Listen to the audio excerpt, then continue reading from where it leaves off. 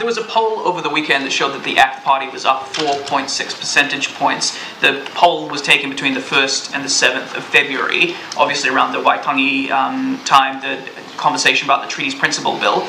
Are you worried that given that we've seen such a, a, rise in support for the ACT Party, you're potentially on the wrong side of this when it comes to the wider public sentiment about that bill? Uh, no.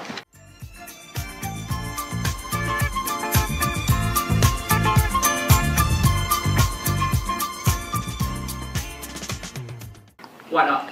Uh, because I'm not. Uh, uh, you know, the reality is there'll be polls. There'll be lots of polls. Uh, you've seen them already. In, you know, public polls being announced in the last few months as well. Uh, and from my point of view, our position is really clear. So I don't plan to keep rehashing the, the ground that we've covered over the last week, few weeks. But it's a pretty substantial rise, 4.6 percentage points. It's, it's pretty is it not telling of the fact that there is a constituency out there that is telling your government that actually what we think the ACT Party is saying is reflecting their views?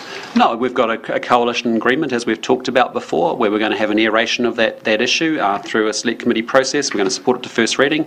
As I've said, there's no support from our side um, beyond that from National. We, we have lots of conversations uh, across the Cabinet and within with the other leaders as well. And I can say our relationships are positive. We're in a very constructive frame of mind. We're all very united, very focused on what matters and getting things going. There is a difference of opinion between our respective parties on this issue, and we have a compromise that doesn't meet the needs of both parties, I suspect, but actually is a good way forward.